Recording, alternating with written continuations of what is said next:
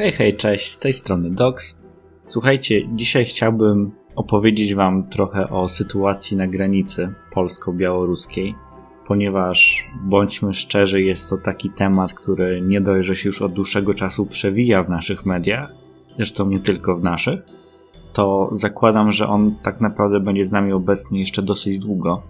A ponieważ widzę, że są takie dwie strony, które gdzieś tam wzajemnie ze sobą walczą, jeżeli chodzi właśnie o sytuację na naszej granicy, to uznałem, że warto byłoby poświęcić jeden taki odcinek tej mojej osobnej serii na przeanalizowanie tego problemu, żeby zastanowić się nad tym, jak w ogóle do tego doszło, co dzieje się w tej chwili i wyciągnąć z tego jakieś wnioski, nie? Bo uważam, że tutaj akurat emocje bardzo często nam szkodzą i sprawiają, że możemy w pewnych momentach nie myśleć tak do końca racjonalnie. Po prostu zobaczymy jakiś obraz i on utwierdza nas w naszej opinii, a moim zdaniem jest to w tej chwili naprawdę, naprawdę niepotrzebne. Zacznijmy więc może od tego, skąd w ogóle pochodzą ci imigranci. Wiemy, że pod naszą granicą gromadzi się każdego dnia coraz więcej osób i warto wiedzieć, skąd oni tak naprawdę do nas przybyli. I nie, nie chodzi mi o Białoruś, chodzi mi o Syrię, Afganistan, Irak, a do tego, z tego co się orientuję, to także niewielka część Kurdów, którzy przylecieli z Turcji. Także te grupy najbardziej przeważają, chociaż coraz więcej głosów jest także o tym, że coraz więcej imigrantów jest także z państw afrykańskich. Także stamtąd oni, stamtąd oni nadciągają, stamtąd oni nadciągają. Tylko, no właśnie, w jaki sposób tak w ogóle Białoruś to robi? O tym, dlaczego to robi, to jeszcze za chwilę porozmawiamy, ale na początku w jaki sposób Białoruś ściąga tych ludzi do siebie. Przede wszystkim, to jest bardzo ważna kwestia, na ten moment nie zaobserwowano skoordynowanego ruchu białoruskich wojskowych transporterowców, ale ale Łukaszenka za pomocą firm zarejestrowanych w państwach arabskich zaczął publikować tam ogłoszenia, które zachęcały do emigracji, czyli zachęcał do transportu na Białoruś, a następnie obiecywał pomoc w dotarciu do Niemiec. I te ogłoszenia brzmiały tak bardzo wiarygodnie, wyglądały na bezpieczne, także wiele osób się skusiło. Po prostu skusiło się tym, że hej, jesteśmy potrzebni w Niemczech. I słowo potrzebni jest tutaj bardzo ważne, ponieważ te ogłoszenia, te ulotki, które gdzieś tam na przykład były rozdawane, te reklamy, na które gdzieś tam się osoby zamieszkujące Bliski Wschód napotykały, one z jednej strony gdzieś tam może było, że Niemcy, kraj, który jest po prostu bogaty i tak dalej, ale było również o tym, że Niemcy przede wszystkim potrzebują ludzi do pracy i są bardzo otwarci na pracowników z Bliskiego Wschodu. I to jest tutaj, jak dla mnie, informacja kluczowa, ponieważ wiele osób z Bliskiego Wschodu myśli o emigracji. Oni nie czują się bezpiecznie we własnych państwach, ale wiedzą, że do Europy, do państw Unii Europejskiej, będzie im się dostać niezwykle ciężko. Dlaczego? Niektórzy powiedzą, takie głosy zresztą się często pojawiają w mediach, że istnieją procedury, można otrzymać wizę, o którą się trzeba ubiegać i tak dalej. Hmm, to jest wszystko prawda. Tylko, na ile udało mi się zorientować, otrzymanie takiej wizy jest bardzo, bardzo kłopotliwe i dla wielu mieszkańców tamtejszych państw w zasadzie nieosiągalne. Po pierwsze, te wymogi są często takie, że oni nie są w stanie ich spełnić, a po drugie, same państwa są na tyle skorumpowane, że otrzymanie takiej wizy poza oczywiście spełnieniem formalności, jest często związane z wydaniem astronomicznych pieniędzy jak na możliwości tamtejszych osób. Dlatego wśród tamtejszego społeczeństwa panuje takie przekonanie, że otrzymanie wizy jest właściwie niemożliwe, jeżeli się nie ma albo znajomości, albo nie jest się człowiekiem bardzo zamożnym. I to jest kwestia istotna, ponieważ ponieważ nagle pojawiła im się opcja, tak im się przynajmniej wydawało, że hej, możemy polecieć na Białoruś, a potem otrzymamy pomoc w dostaniu się do Niemiec. I nagle ten temat wizy jakby już nie był ważny, więc masa ludzi potraktowała to jako swoją szansę. Po prostu jako swoją szansę. Na przykład teraz dajmy jednego z takich publicystów, którego prywatnie lubię, chociaż w ostatnim czasie mi bardzo mocno podpada. Jest to Łukasz Warzecha, który napisał w tym tygodniu takiego tweeta. Teraz pozwólcie, że go, za, że go wam zacytuję. Dość mam tego płaczliwego litowania się nad ludźmi, którzy byli w stanie wyłożyć po kilka, a nawet kilkanaście tysięcy dolarów, wiedząc świetnie, że złamią prawo i którzy nie ratują się nawet przed biedą, tylko po prostu chcą wygodniej żyć. Chcieli, mają co chcieli. Łukasz Warzecha. Hmm. Szanowny panie Łukaszu, moim zdaniem to nie tak. Moim zdaniem to nie tak, ponieważ narracja, którą im się przedstawia, te ulotki, te ogłoszenia, na które oni natrafiają, będąc jeszcze w Syrii, Afganistanie czy Iraku, one im sugerują, że oni nie będą łamali prawa, że to jest wszystko w pełni legalne. Więc o tym, że jest jakiś problem, oni dowiadują się często tutaj. Dopiero gdy trafiają do Białorusi, do Polski, na naszą granicę, więc to nie jest do końca tak. Po drugie, jeżeli chodzi o sam argument finansowy, e, ja również widziałem te zdjęcia tych drogich markowych ubrań. Pierwsze to były zdjęcia na paru osobach, dosłownie na paru osobach, które miały bardziej ekskluzywny sprzęt. Niektórzy się czepiają, że o, to są imigranci, a mają smartfony. Żyjemy w czasach, gdy praktycznie każdy człowiek ma smartfona. To nie jest jakiś nie wiadomo jaki luksus, jest to bardzo powszechny przedmiot, na dobrą sprawę. A kolejna sprawa jest taka, że wiele osób potraktowało ten wyjazd jako swoją szansę. I tutaj wyglądało to w ten sposób, że oni musieli zapłacić za to, żeby dostać się do Białorusi. I wiele osób się zapożyczyło, sprzedało swój majątek, swoje kosztowności, ponieważ nie miało takich oszczędności. Musicie wiedzieć, że cena, jaką sobie życzyli Białorusini za zorganizowanie wizy, lotu i pobytu w hotelu na Białorusi, to było od 5 do 15 tysięcy dolarów. To jest majątek, którym tamtejsze osoby nie dysponowały, tym bardziej jeżeli myśleli o wyjeździe rodzinnym to nagle musieli właśnie wyprzedać swoje rzeczy, zrezygnować z jakichś swoich dóbr i tak naprawdę postawić wszystko na jedną kartę. I dziś już wiedzą, że to był skam, że to po prostu było kłamstwo, że no niestety, ale, ale podjęli bardzo złą decyzję. Chociaż niektórzy dalej liczą, że mimo wszystko to tu ich czeka lepsza przyszłość niż tam. Natomiast, natomiast ważne jest to, że oni zostali w dużej mierze oszukani. Że to nie jest tak, że specjalnie tutaj chcieli się nielegalnie załapać do Niemiec, tylko Białorusini ich zmanipulowali. I dla mnie to słowo manipulacja jest w tym momencie bardzo ważne. Oni zostali zmanipulowani.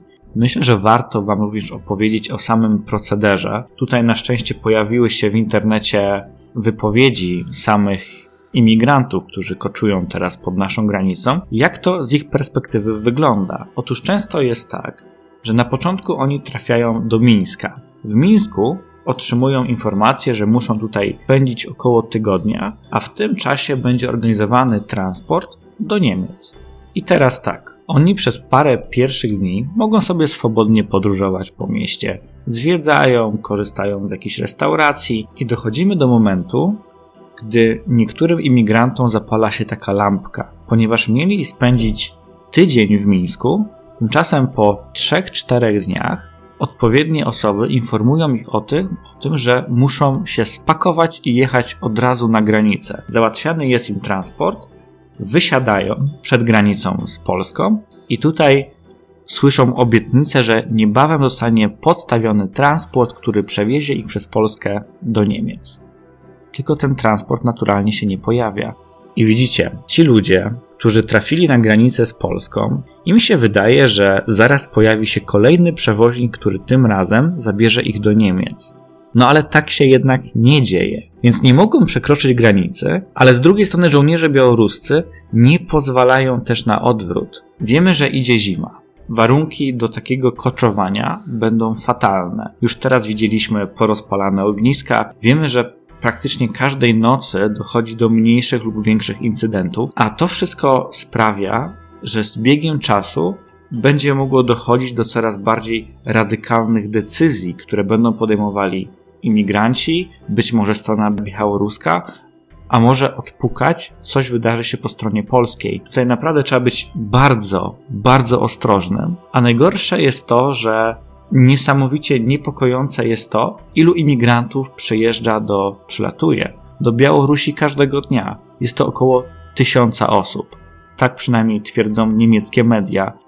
W dodatku ta siatka białoruskich biur podróży, które rekrutują w tych państwach arabskich kolejne osoby, się stale powiększa. Więc tak naprawdę z tygodnia na tydzień może do nas przelatywać i jeszcze więcej osób. To wszystko może tylko i wyłącznie narastać. Widziałem nawet takie szacunki, które podawały, że do końca roku, do ostatniego dnia grudnia, pod naszą granicę może trafić nawet 100 tysięcy osób.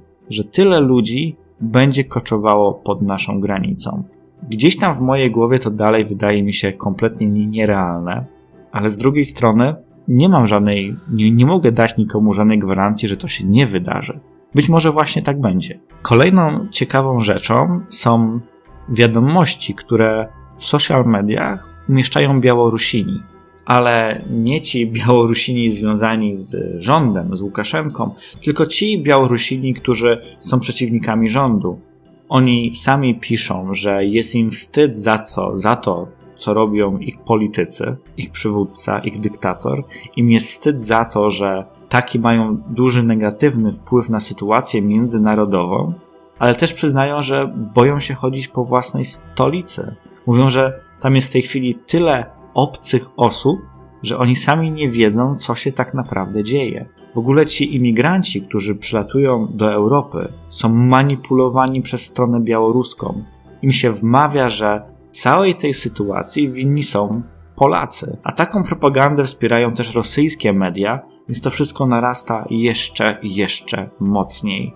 I generalnie powstaje takie błędne koło, ponieważ z jednej strony, jeżeli wpuścimy tych ludzi do siebie, to Łukaszenka zobaczy, że działania, które on podejmuje, są skuteczne.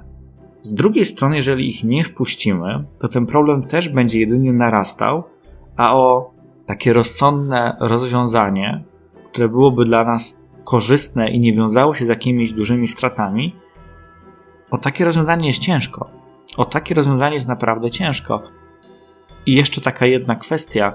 Uważam, że przede wszystkim, ja też tu mówię o Białorusinach, używam tego określenia, mi chodzi o politykę, o polityków, o Łukaszenkę, o wojskowych, którzy właśnie słuchają rozkazów z góry. Nie myliłbym działań Łukaszenki z tym, co uważają zwykli Białorusini, ponieważ oni w dużej części tego wszystkiego nie popierają i to jest też bardzo ważne. Kolejna sprawa. Kolejna sprawa jest taka, że nasi wojskowi to muszą być ludzie, którzy naprawdę będą potrafili powstrzymać swoje nerwy, dochodzi do całej masy wszelakich manipulacji. Tutaj mieliśmy już nagrania, na których widać, że białoruscy żołnierze naszych prowokują, świecą im laserami po oczach, obrzucają ich kamieniami, e, niektórzy niszczą zasieki, więc to się wszystko dzieje każdego dnia, a my w tym wszystkim musimy być z jednej strony cierpliwi, ale z drugiej strony skuteczni w działaniach, żeby jednak powstrzymywać te ataki, które gdzieś tam czasami się pojawiają. Teraz na przykład w mediach jest głośno o tym, że zostały zastosowane armatki wodne. I okej, okay, zostały użyte, dobrze, ale w odpowiedzi na coś. Więc ja na przykład nie mam w tej, w tej konkretnej sprawie pretensji do naszych służb.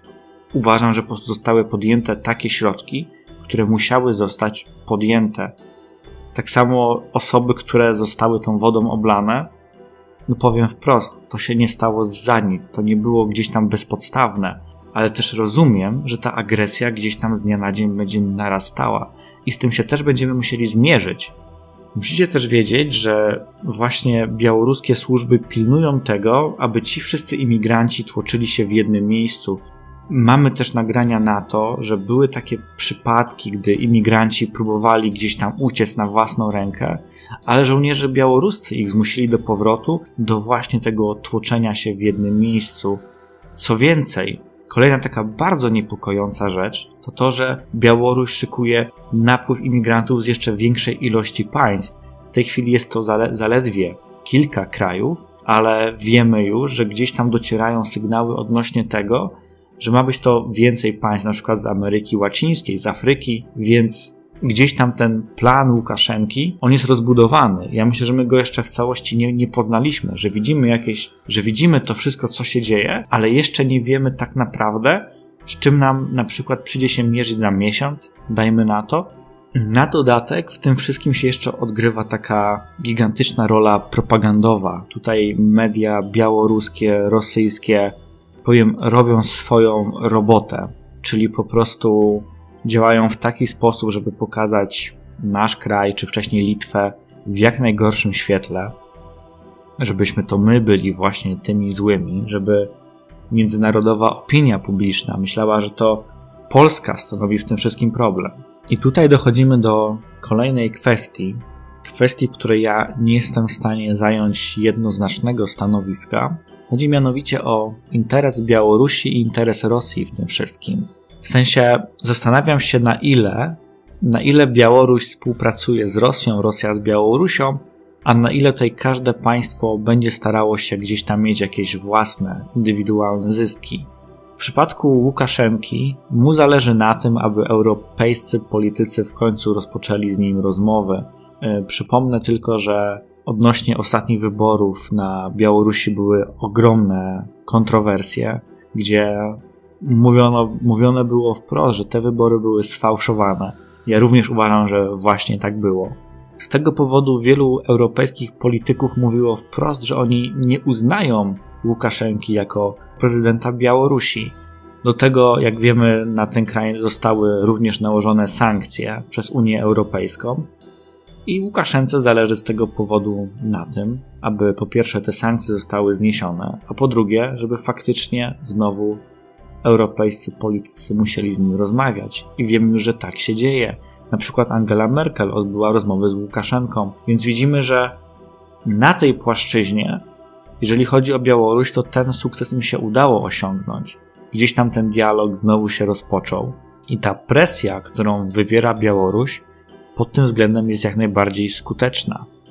Natomiast jeżeli chodzi o Rosję, tutaj mi się wydaje, ale to znowu, tylko i wyłącznie mi się wydaje, że Putin chce być takim ala zbawcą Europy, pokazać się jako ten, który może nam pomóc, może zażegnać kryzys, może mieć duży wpływ na Białoruś.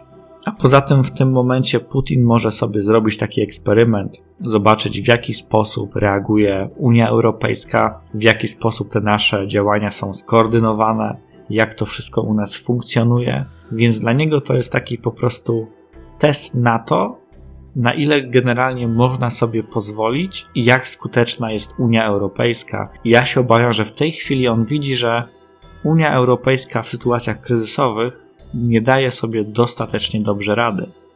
Jak informowała Rzeczpospolita w ostatnich dniach, Rzecznik Kremla Dmitrij Pieskow zaproponował w poniedziałek, że Rosja może pomóc w rozwiązaniu kryzysu na granicy i zostać pośrednikiem pomiędzy Unią Europejską a Białorusią.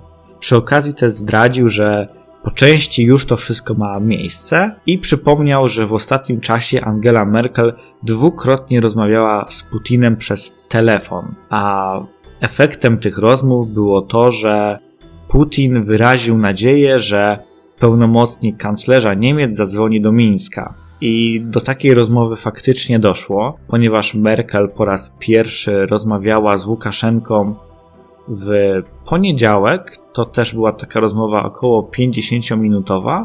I tutaj hmm, był taki oficjalny komunikat, że rozmawiano o pomocy humanitarnej dla przebywających na granicy uchodźców i imigrantów. I wiemy już, że odbyła się druga rozmowa. Dosłownie, gdy nagrywam ten materiał, to to miało miejsce przed chwilą. I wiemy już, że Unia Europejska będzie płaciła Białorusi, to ma być bodajże 700 tysięcy euro, na pomoc dla migrantów. Jeżeli pozwolicie, chciałbym Wam jeszcze zacytować jeden bardzo dobry, moim zdaniem, cytat. Jeżeli Polska nie chce bezpośrednio rozmawiać z Łukaszenką, Niemcy i Rosja powinni wystąpić jako pośrednicy na wzór rozmów mińskich. toczących się w sprawie Ukrainy. Imigrantów można wysłać do Niemiec autokarami przez Polskę, ale przecież rozumiemy, że na tym kryzys się najprawdopodobniej nie skończy. Na ich miejsce przyjdą kolejni, dlatego czas już na rozmowy przywódców. Myślę, że rosyjskie służby specjalne i niemieckie już prowadzą rozmowy na ten temat. Mówił Rzeczpospolitej Aleksiej Muszin, szef związanego z Kremlem Moskiewskiego Centrum Informacji Politycznej. Dodał również, że sytuacja jest kryzysowa również dla Rosji i Łukaszenko z nami tego nie konsultował. Wiele wojen zaczynało się właśnie przez drobiazgi, dlatego poważnie przyglądamy się temu, co się dzieje na granicy białorusko-polskiej. I to jest właśnie to, nad czym ja się w tej chwili prywatnie zastanawiam, czyli na ile Białoruś faktycznie współpracuje z Rosją, ja myślę, że współpracuje, ponieważ wiemy również, że migranci, którzy w tej chwili są na naszej granicy, część z nich dotarła nie z Mińska, a z Moskwy. Także wydaje mi się, że te powiązania tutaj również jak najbardziej istnieją.